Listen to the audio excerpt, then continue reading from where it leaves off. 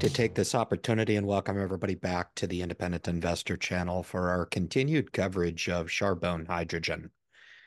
Uh, I'm going to be using a couple of pieces of content uh, in explaining uh, Charbone Hydrogen um, in a way that uh, has helped me understand the company. Um, there's a lot here to unpack. Uh, first and foremost, Charbone um, put in their investor presentation a projection of financials that included uh, five phases of the company. When I initially looked at this, it generated more questions than answers. There was an interview that was completed here um, a couple of weeks ago on YouTube by Mariusz Skonieczny. It was um, an executive COO of the company, Mr. Daniel Charette.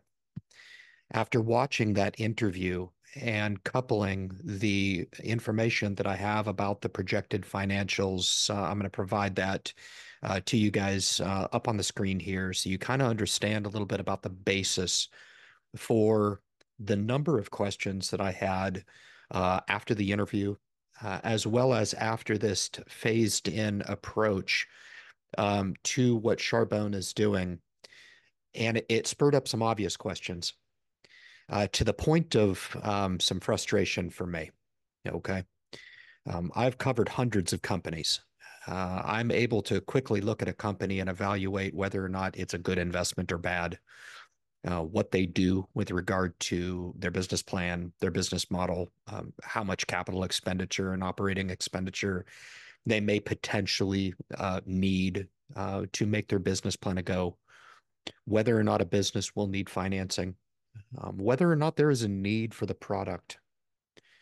And I think with Charbone being as unique of a project as it is, uh, first mover advantage here in North America, I think you will benefit from my opinion in understanding the lens that I took when I evaluated this information on the reaction to the phased in process that I released a couple of weeks ago. Um, and this is meant to amplify a little bit because I didn't have or was not privy to the information that was um, so elegantly displayed by Mariusz's interview with um, Mr. Charette of Charbone, was able to provide uh, an amazing amount of color around the context of questions that were generated both by me uh, and I thought Mariusz did a great job of of genning up some questions. So I will provide a link to that because outside of being redundant, I think that everybody can value uh, different opinions and and and different uh, interpretations based on the deep due diligence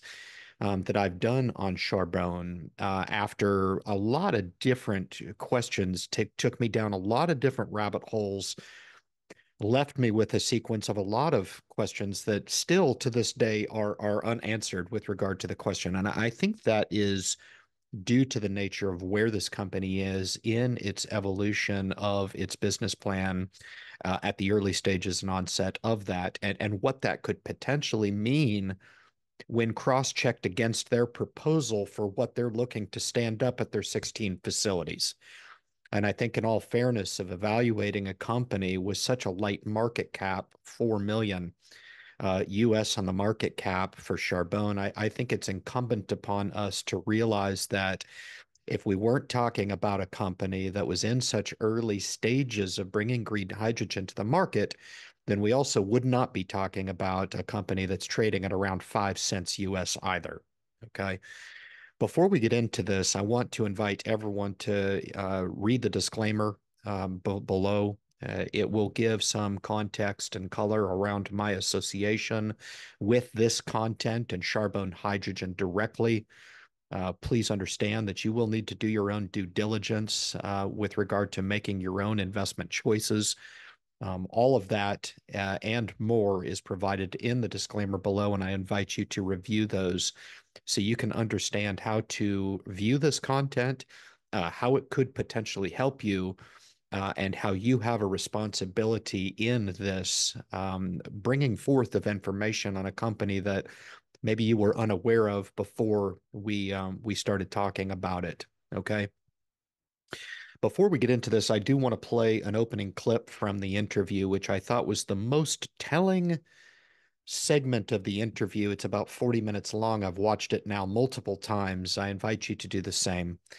But I want to get your reaction and I want to provide some reaction on Mariusz's statement here with regard to scale and what Charbone is looking to do at their Charbone uh, hydrogen at their Sorel Tracy facility in looking to get this project off the ground. Let's take a listen. But I would think that the first financing is going to be hugely important because right now, Charbone is, we are a company that promises to produce green hydrogen. But I think that after you show to the world that you can produce on whatever scale, whether it's you know two megawatts or 2.5 megawatts, then you can show them the economics behind it, and then you can be like, see, if you give us more money, we can replicate this 10 times.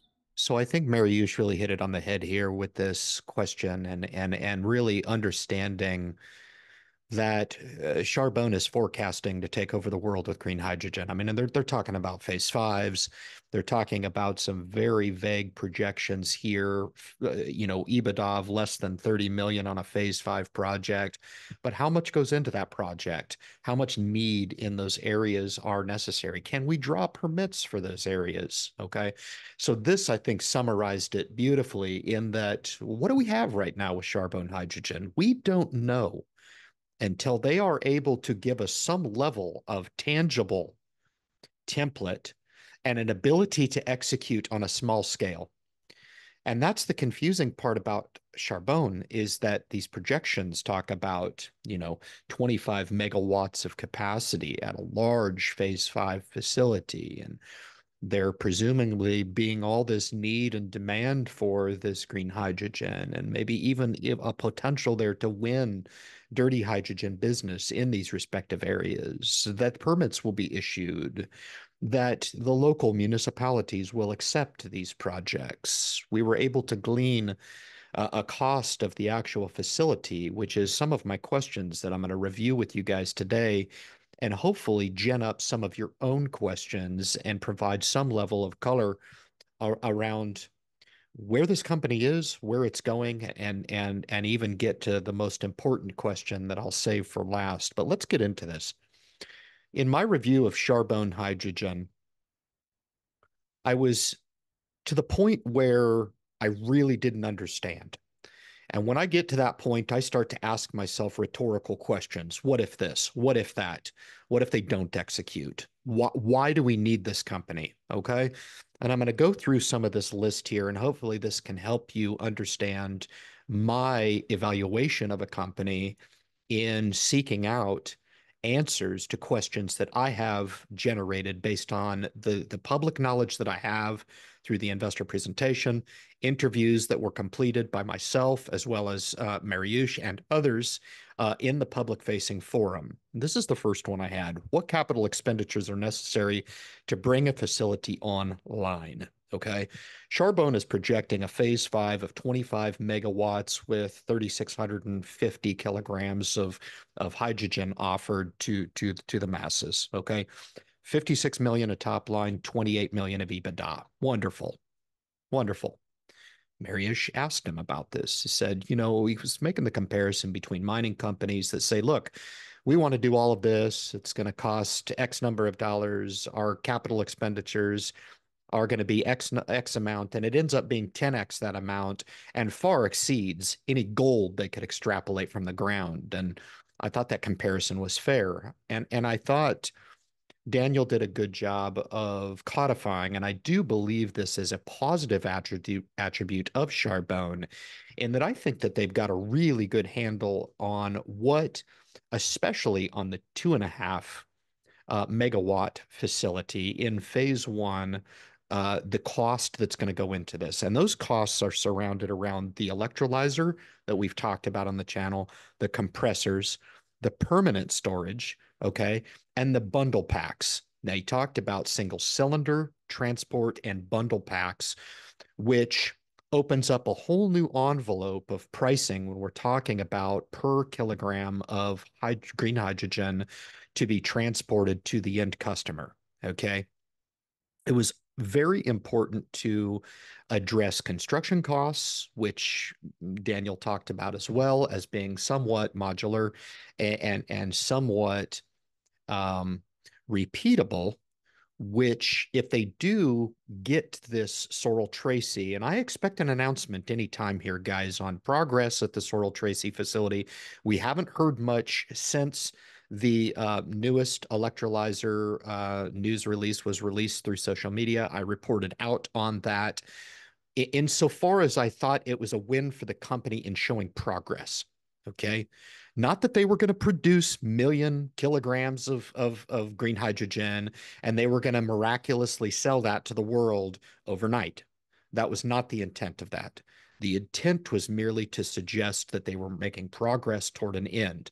And until we start to see marked progress on Charbone, we're going to continue to evaluate their progress on bringing phase one on the line, and they're actually producing green hydrogen to sell to their customers. Okay. So that was the number one. And I thought that was pretty bullish. And I thought that that was one of those explanations through the interview that I heard that Daniel had very, very good command over. And I was appreciative of his color on that topic. The next question was what is the cost of this hydrogen? What the freaking hell is the cost? I looked through the chart, I looked through phase five, and I was like, okay, how much does it cost to produce? How much does it cost to transport, okay, as it reflects to Charbone's business plan, which is to reduce the transport cost. We'll get into that. All right. But what the hell does a kilogram of uh, green hydrogen cost? And through the deliberation of the interview, I think you'll take and be able to extrapolate the same as me that we rested on about $17 per kilogram of hydrogen end cost to the user.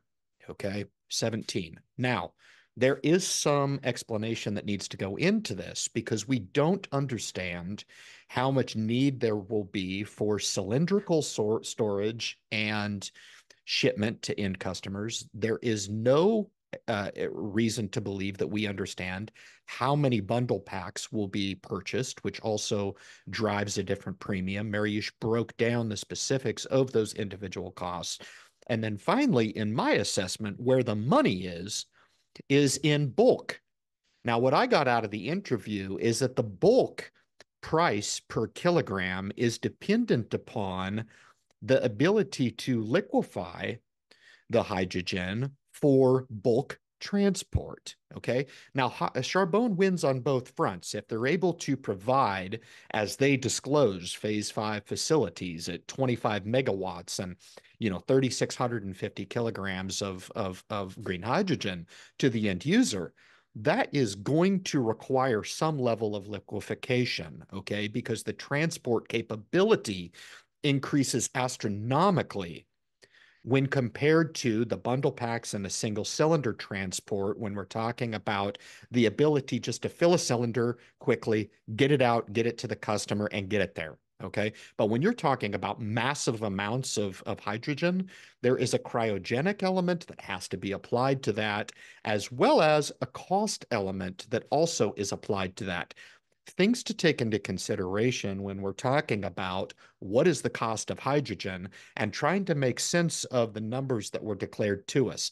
We were able to land on a cost of hydrogen of $17, but that was an aggregate across all three. And, and, and I really say that tongue in cheek to understand that until we get some finalized number on the pie chart of how much single use cylinders, how much bundle pack, how much, if any, bulk transport is going to be engaged in on the onset, that it is sheer speculation on our part to understand what they can produce and what they're going to sell the hydrogen for. And and I think Daniel was alluding to that and trying to be fair to the end viewer because there's a lot of misconception about the price of hydrogen based on internal major use of gray hydrogen. Okay. They can get that down to a few dollars of use case, but they're producing it on site using natural gas to power the electrolyzers to use in house. They're not selling that to the open market. And sometimes people look at that and say, why is green hydrogen so expensive? And that's the reason. Okay. That is an in house produced use case for the gray hydrogen. The question I would have is what incentive, if any, can be put forward to the market to incentivize some of those larger institutions to even look at the prospects of taking on and supplementing some of the gray hydrogen for green hydrogen uh, coming from um, a, a, a, green source and and and kind of helping to contribute to those ESG scores that are so important to these large corporations, always looking to reduce that so they can fly the flag of green and, and say we're doing our part. Okay. Number three, how much hydrogen can be produced? Okay. In my due diligence of this, this is all over the map. Well, what we know is that there are 16 facilities proposed. What we also know is that we have financing and permitting. Uh, I do emphasize permitting in place for Sorel Tracy for up to five megawatts uh, facility. Okay. Now, how much need is there? We'll talk about that next.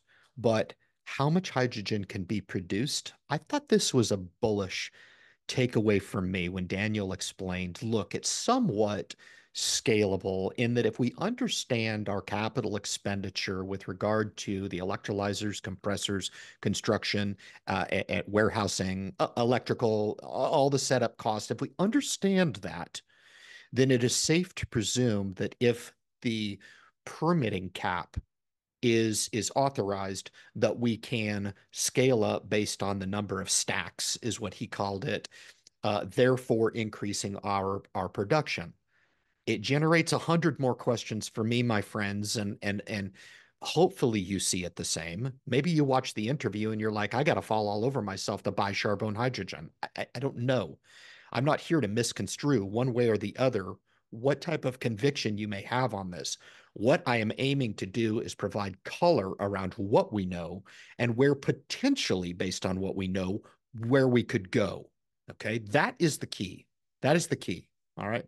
How much hydrogen can be produced? All right. The next question I had is Is there a demand for green hydrogen? I, I don't know. I don't know. I would like to think that there is a demand for green hydrogen. Um, is hydrogen used in, with industrial purposes? Yes. I listened to the interview intently, back and forth, through and through. Mariusz asked the question directly, and I don't think that it got uh, answered with the clarity that I would have expected. Now, certainly, this is from my lens. If you review the content and you feel differently than me, so be it. That's great we're all different and we're all open to discussion about deliberation around this topic. Why? Because the end question is going to be such that is there money to be made here? Okay. We can go tit for tat based on whether or not we think there's an opportunity here or not. At the end of the day, we're going to either make money or lose money on this opportunity. Charbone is going to do in full capacity 16 locations at phase five, which I don't think is possible. And I'll discuss that. Okay. Or in part, they are going to make this business plan a reality, or they're going to fail altogether, fall on their face, and there will cease to exist a Charbone hydrogen. That is the end of what we are striving to do by asking these questions. And I don't know if there are facilities out there that have such a need that have been producing cement for many, many years or have been producing fertilizer with the need to use hydrogen in the production of ammonia I, I don't know if there is an appetite for green hydrogen. Okay. I'm studying myself up on the topic, and this will remain a delta in my due diligence and thesis with regard to whether or not Charbone hydrogen is a good investment or not. I have to understand where the demand is. Now, the silver lining in this is if Sorel Tracy steps on the line and starts producing green hydrogen, and there's an over demand, an over prescription for the hydrogen to where the five megawatt facility at 730 kilograms per day of production of green hydrogen, the demand far surpasses their production capability, then that's going to produce some pressure to approve that phase five application that Daniel spoke about that's looking into the future about six years. Okay however long that's going to take and what infrastructure needs to be built out to actually realize that 25 but maybe we don't need 25 Maybe we need phase two. Maybe we need phase three, right? So if those things can kind of finalize, we can kind of understand the appetite for green hydrogen.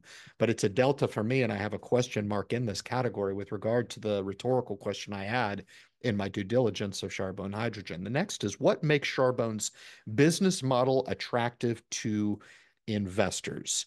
This is very, very simple. This is not difficult. What makes this the most attractive is the fact that after three hours of transport over the road, hydrogen becomes a negative asset. In other words, the transport costs become greater than the asset itself. Charbone knows this. This is why they are taking the hydrogen capability to the strategic locations that hopefully through their due diligence, there is that demand that I have a question mark on okay? And the cost savings that is going to be realized by drastically reducing the transport costs that the majors are incurring to transport the hydrogen many, many miles over the road with the support of Class 1 tankers. This is the business model that is attractive for Charbone, and it makes complete sense. Whether or not they can execute on that plan and start to realize the direct benefit of taking the hydrogen to the customer directly uh, with the shortest dense distance in between point A and point B, then that's the key evaluation uh, step that we will be evaluating going forward. Next, how much will Charbone pay for the financing of the projects? I thought this was huge.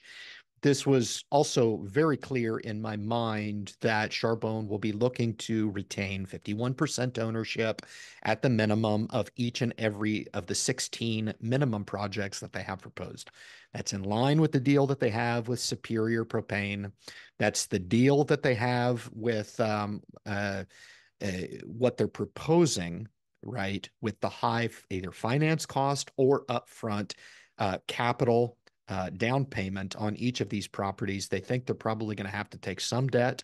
Um, you know, the, these phase, phase five facilities with 25 megawatts of power, right, are anticipated north of 130 million dollars. That's just on paper.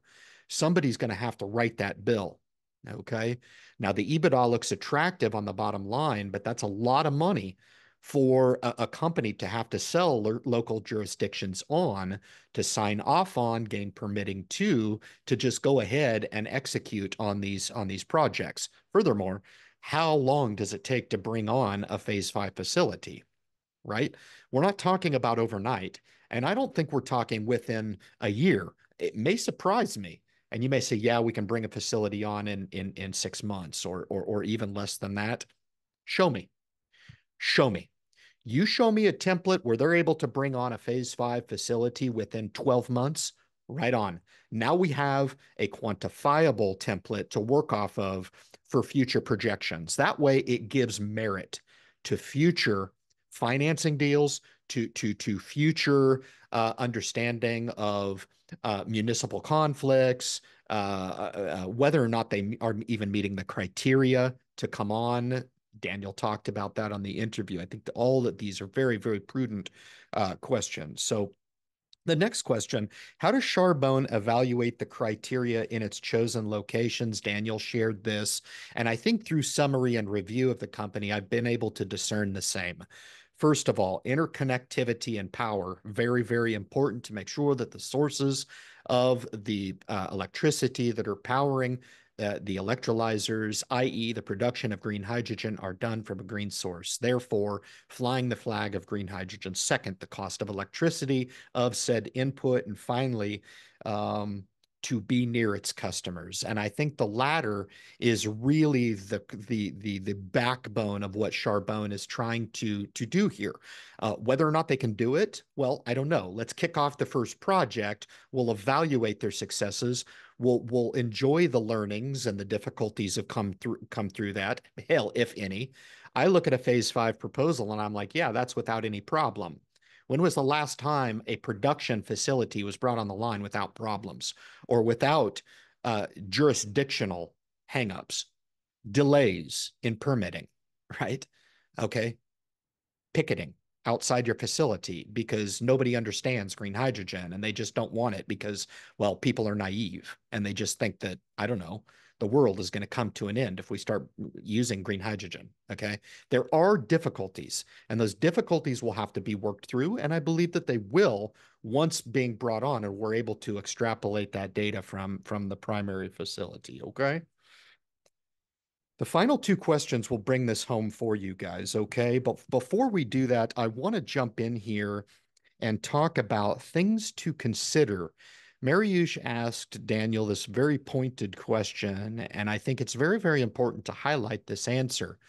It's a couple of minutes, and I want you to pay particular attention to the permitting process, the time that it takes to do that, and specifically what additional uh, permitting parameters will be uh, involved with some of the larger proposals that Charbone is putting forward. Okay, let's take a listen. Actually, Quebec, if we talk about that Quebec project, we have a permit from the provincial government to go up to five megawatt today in our end. Uh, for the construction permit, uh, the drawings will be are already finalized and are in the process of being approved. And the only thing that I'm missing right now it's uh, it's a go from from my uh, contractor. The for the 20 for the 25 megawatt of power, Charbone has a, a request of power uh, at Hydro-Quebec right now uh, to be approved. And that will be known within the next, I would say, couple of months, as we need to plan like six years in advance to, not six year in advance, to complete that 25, that five phases, we need to apply much in advance because they need to upgrade power lines and substation. And it's not only in Quebec, it will be the same in other jurisdictions. So right now, as an example, I'm in final stage of site selection in Detroit. So as of today, I sent back an email to uh, the Detroit Regional uh, Economic Development with three sites that have been identified and selected requesting the local utility to tell me how much megawatts are available at each location to start and what will be the number of months required to increase at each of the phases the capacity of the sites. So each, I would say that each jurisdiction are totally different than any others. Here in Quebec, it took about three months of study and about three months to receive my permits.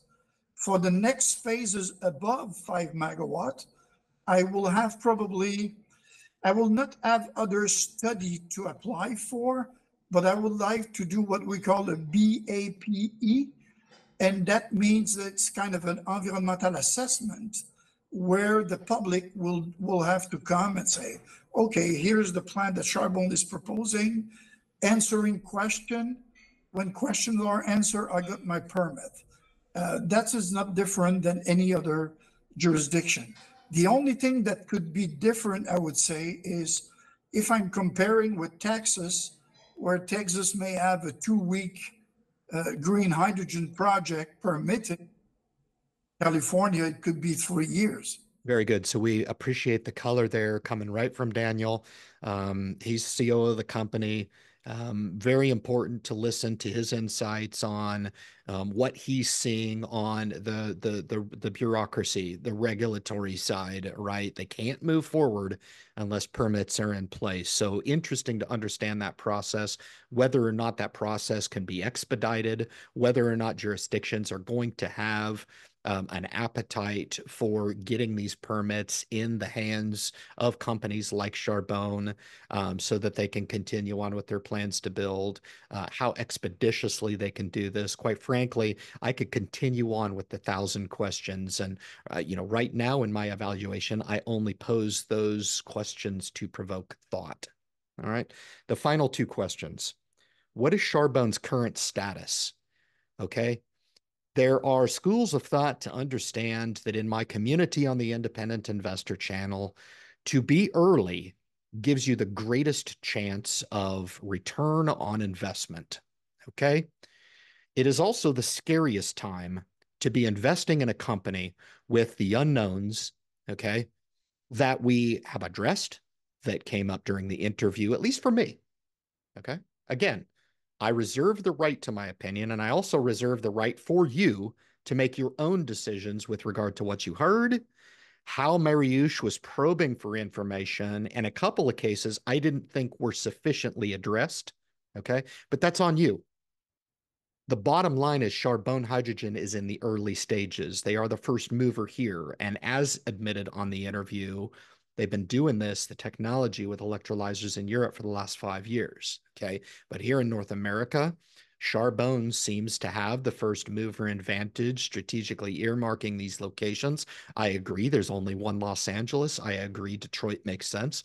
I ag- agree that in Quebec, Sorel Tracy makes sense. I get that. Now, once we start to get some solidification in place, then we will march toward something other than a very, very early stage company. But until then, I will deem it nothing other than that. Okay. Again, acknowledging that the greatest earning potential probably comes when it makes the least amount of sense to invest in a company. I'll leave you to it. The final question is Charbone a viable investment? Okay. Again, back to my point about having a first mover advantage, some of the bullish points that I talked about in this video are known. They are not my speculation. I tried to keep the speculation down to a minimum. Okay. I'm not going to try to go in and make sense of a phase five projection from Charbone when, by admission of Mr. Charette, some of those phase five properties will never come to reality based on a simple lack of ability to earn permit. Okay. How much hydrogen is going to be demanded over Charbone? Look, Sorel Tracy comes on the line and there's an overprescribed demand over that. No problem. Okay. Then we can reevaluate and say, hold on a second, maybe green hydrogen is the wave of the future. Okay. But when people say gray hydrogen or they say dirty hydrogen, the fact of the matter is it's made with natural gas. And there's a lot of schools of thought out there that would suggest that those applications, I don't know, Exxon, BP, Chevron, those majors that are using that in their operation, and it's working just fine. Is there an appetite to upgrade for the reasons that I've suggested in this video? ESG scores, uh, the move, incentives, right, for the use. I know there's a three kilogram credit here in the United States of America right? So, are those incentives enough for companies to transition and do the right thing to maybe partially or uh, in its entirety shift to green hydrogen. And the question is, how much will Charbone be able to penetrate that market in what I consider to be a blue ocean, which, my friends, is an absolute bullish sentiment when we're talking about a company that is just on the precipice of providing some quantifiable information that we can take, deduce, extrapolate, and return back to people in a palatable manner so they can understand why this company is currently trading at $4 million or $5 million, $6 million market cap. It's anemic, right? Compared to the opportunity that they are looking to prove out. Guys, I appreciate you tuning into the message. I will leave links to the uh, interview in the description below. Very important for you to watch it. I've watched it three times. I pick up something new every single time. I invite you to that. I also invite you to subscribe to the channel, hit the notification bell if you enjoy the information. It should have generated some comms on this. Please leave your comments in the section below. I will love to review that after this video. I know it was a little longer, but it was worth hanging with me in this uh, explanation of where Charbone is because it is in its entirety a pretty complex proposal here with what they're trying to do. And thank you so much and good luck in your investment future.